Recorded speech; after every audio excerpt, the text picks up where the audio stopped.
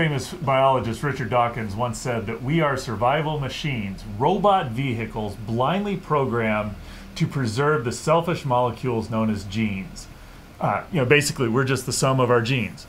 Yeah, that's basically this reductionist mentality boils down to you are at the mercy of uh, your genes and at your biochemistry. That's a pretty depressing outcome, I think. It is, but it also doesn't seem to correspond to the research. I, you know, I've heard about, you know, in talking with you, these studies where they've had rats that are uh, have genes for high stress expression or you know high anxiety, but when they're put into an environment of uh, a nurturing mother rat, that they exhibit or their gene expression comes out very similar to the low anxiety rat. So obviously, our environment has a great influence as well. Yes, so there's this opportunity for feedback, and nurturing is one of those things that can modify your risk for stress and um, actually change gene expression. So we know there's a large component that comes from the environment, but also there's a component that comes back uh, comes from what we choose to do with our life and uh, whether we're pursuing happiness or whether we're pursuing meaning. Okay, so you got stress, anxiety induces it tends to cause sickness.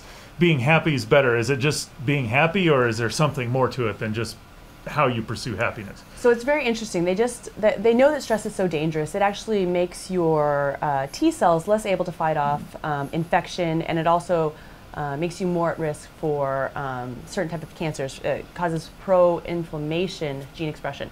So, um, is the antidote then happiness? This is a question that um, a group over at UCLA was asking, and what they saw was that happiness is better than depression, but only only if you also add to that meaning. So it's not just about I'm happy because I get to go out and surf or ski or drive race cars or read books. It's about doing something that's meaningful and purposeful that that's Right. that's the kind of happiness that actually is the antidote to the stress induced environment Exactly. So for people who did not have that meaning and purpose, their T cells looked as sick as someone experiencing chronic adversity.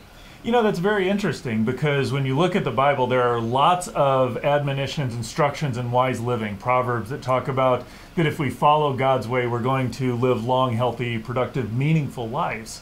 What we see is that it, it isn't about what your genes are. It's about following god's commands that by following the wise living the prescriptive principles and scriptures that we will live those purposeful meaningful lives that god has designed us to have